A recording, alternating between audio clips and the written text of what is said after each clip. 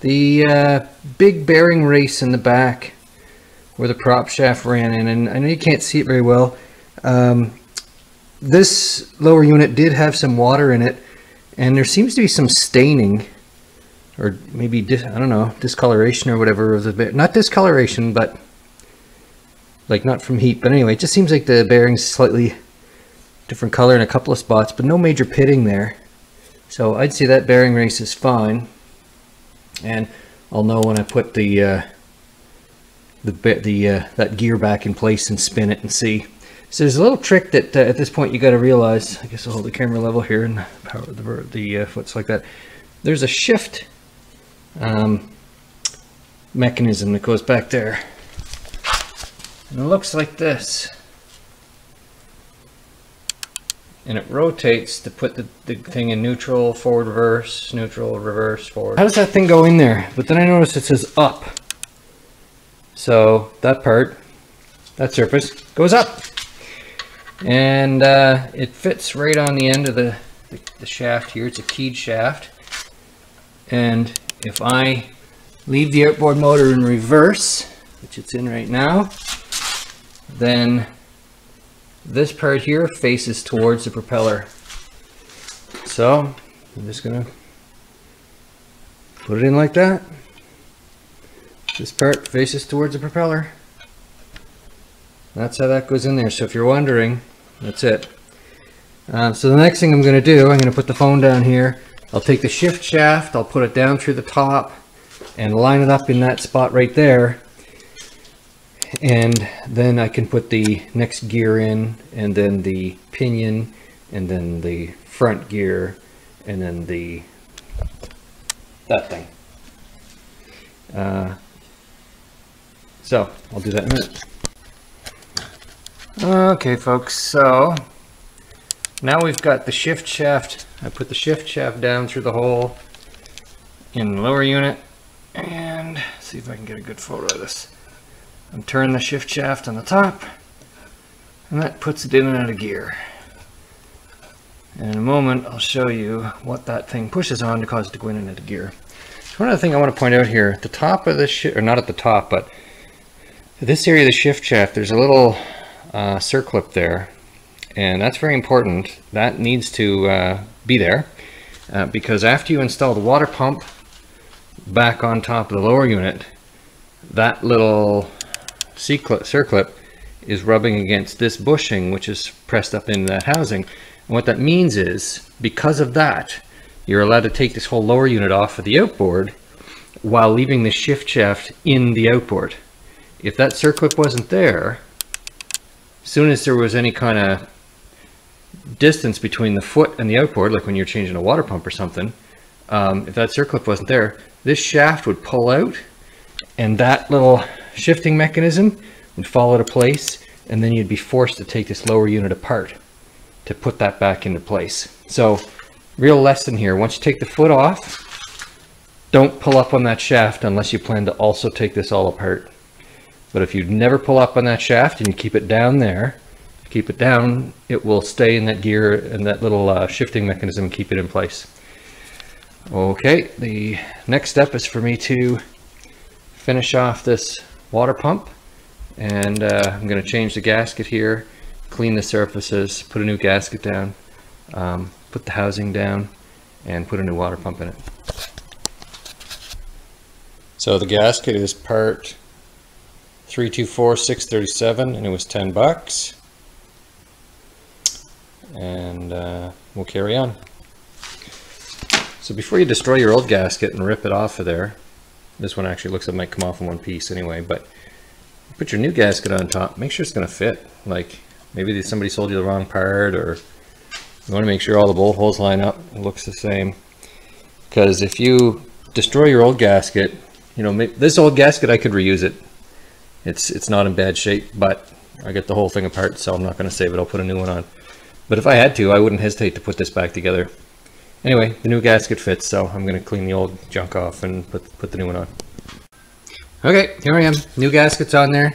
I cleaned the old mating surface off with a razor blade, and so this new gasket is going to be just fitting on there nicely. And I'm not sure why it makes a difference, but it does say this side up, so I will pay attention. Um, the old gasket was, uh, in fact, it came off pretty well intact, so it was, uh, I know you can't tell just on that, just based on that whether it was leaking, but I think it was pretty sound. I don't, I know that uh, this is the uh, top of the water, sorry, the bottom of the water pump. Water pump housing looks like that. Um, I know these seals were leaking because I pressure tested them and I could see air escaping from around here and the shaft. So to get them out, use two hands. I've only got one here now, but anyway, I took a standard screwdriver, stuck it in there. Now this is a plastic housing, so you don't want to really reef on it too hard, but these seals come out pretty easy. I just twisted them like that, and the seals come out, just like that. And uh, now I'll clean up in there. Okay, so this is the uh, the underside of the water pump housing, and I've cleaned out the area where these seals go. And it's uh, very important that you uh, pay attention to the direction the seals go in. One goes in face down, and the other one will go in face up. Like this. So there's the spring showing in that one, and the spring showing on that one. So what I'm going to do is take a little bit of this Form-A-Gasket product and this brush and just put put a little bit in there and then let it says you have to let it dry for a bit um, I don't even know if you need to put any sealant in there but because uh, these these seals are a press fit metal into plastic so this is probably a pretty good seal anyway just press them in there but I'm still going to put a little bit of sealant in okay I've got a thin layer of sealant on the inside of that and uh, just a thin layer. You don't need much here um, on the inside of this bore. So you take the seal, you line it up the best you can, so it's kind of flush with the, or level with the top surface there. Remember, face down or the spring side facing down. And then take a piece of wood and tap on it, just gently. You're not trying to do anything too serious here.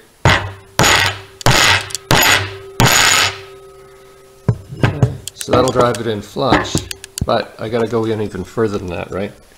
So I'm gonna get a socket that's the right size and then I'll drive it the rest of the way.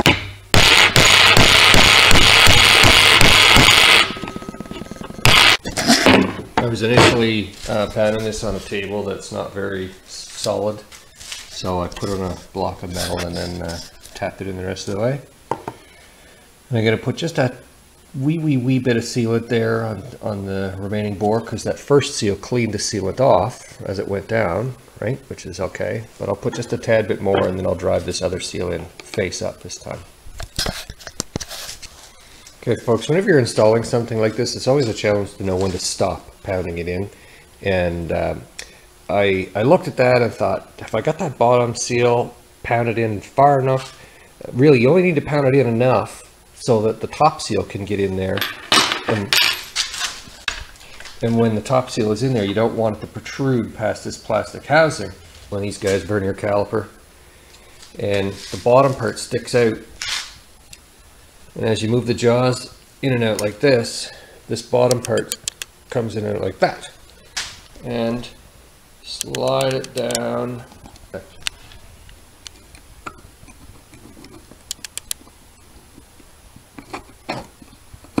There. So that's the amount that the seal is within that bore, and that's the amount of space for the new seal. So at the other end of the caliper, that's the amount of space that is within the bore and the amount for the new seal. So as long as the new seal fits in there, in good shape. And it does. Fits right in there. So that means I can stop pounding that down in there. And again, this is a plastic housing, so I use the word pound very carefully here. Okay, I'll put some new sealant in there and put this top one in spring side up. Another little tip here, so I just put this thin skim of gasket maker uh, on the inside of the bore and on the top of the seal. I'm going to drive it down until the two seals touch. But you don't want to have that sealant getting any way near the rubber. That rubber is to do its sealing job on its own. You don't want that sealant to interfere with that. So um, I put some on and then uh, in one spot I got a little too close to the rubber so I took a screwdriver, a tiny, tiny screwdriver, put it inside a rag, and then just clean that uh, clean that off. In fact, there's a little bit uh, at six o'clock in the camera, that angle that I'm going to go clean off before six and nine, before I assemble it. Okay, so we get the second seal in there and uh, it's pounded down and then flush. I use that block of wood so it pounds down just as far as it needs to until it bottoms out and it, or until it uh, gets flush with the surface and then the wood block on top won't pound any further. So you've done that. So next part is replacing the O-ring in the top of this uh, housing right here. And I've got the old O-ring out and um, I just was curious to see if it would wear or not. It, didn't look damaged or anything, but I measured the inside of it and uh, I just measured it, set this vernier caliper so that there's just enough friction to hold it so the O-ring won't fall down. That's the old one, put it over there. Here's the new one. I mean, it looks physically, well, I don't know. Doesn't look that much. If we put them side by side, they look the same. But anyway, um, when I go to try and put it on here, it won't fit. Like I could force it, but I don't want to do that. But it definitely will not drop down the way that the other one will. So the O-ring is uh, obviously bigger, or well, smaller diameter on the inside. Ooh, and it is uh, harder to push in there. I'm going to put a little uh, oil on that and then slide it into place. And then this part will be done. Okay, so that O-ring's in there. Obviously, it uh, doesn't provide a lot of resistance. It went in really easy. I just lubed it up a bit with some gear oil. And uh, it's ready to go. So now with this piece of my hand ready to go with the new seals and the new O-ring, we're going to put it on the top of this shaft, slide it down all the way, and it's going to pick up as it goes down. It's going to pick up this little thing right here. Now this is a two function bushing. Um, one, well three things I guess. For one, this bushing keeps the shift shaft steady so that the bushing does, or the shift shaft doesn't move around too much and doesn't wear at that O-ring. So that's the first job. Second job is this bushing, when you slide it down all the way, it bottoms out against that, that little circlip right there. And so because that bushing is going to be held down by the water pump plastic housing, that bushing holds the circlip in place, which holds the shift shaft down into the gear case on its little um, shift mechanism down in there. Uh, the third thing is this right here holds that O-ring in place. So uh, this is pretty important, pretty important little part here. So I'm going to lube up this shaft just a little bit with some gear oil. Don't need much. There is a nick in uh, in this shaft right here. When uh, when it came out, it got nicked just ever so slightly. So I'm going to use a flat file and just take that off. And if you get a situation where you can't take the nick off or it's corroded or something like that, um, just wrap a very thin layer of black tape around it, lube it up, and that O-ring should slide right over it. Also, uh, as uh, you saw earlier, I've got the gasket surface cleaned up. Um, this doesn't have to be mirror, mirror shiny, but it does have to be completely smooth. So use a razor blade and uh, clean up the surface completely and make sure that uh, you get all the old gasket off there and don't gouge the new surface. Okay, so I slid this water pump housing down the shift shaft, pushed it in place. Um, I it's a bit of an interference fit, not here, but the surface that goes into the, the aluminum housing. So I gently tapped it down with a mallet, just ever so slightly, or gently. And then I could install this bolt and this bolt and this bolt, which is the bolts that go, that's where they go. Um, however, the water pump, this part, in the end, when I'm done this, the water pump is going to go on there, and of course the bolts are designed to go off that distance. Um, so the bolts that belong there are long.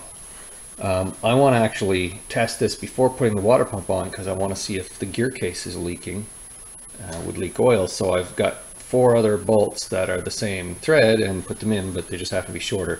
So that will tighten this plastic housing all the way down to the aluminum housing. Okay, so before I can go any further and reinstall that drive shaft down there, I've got to finish this bottom end and I'll just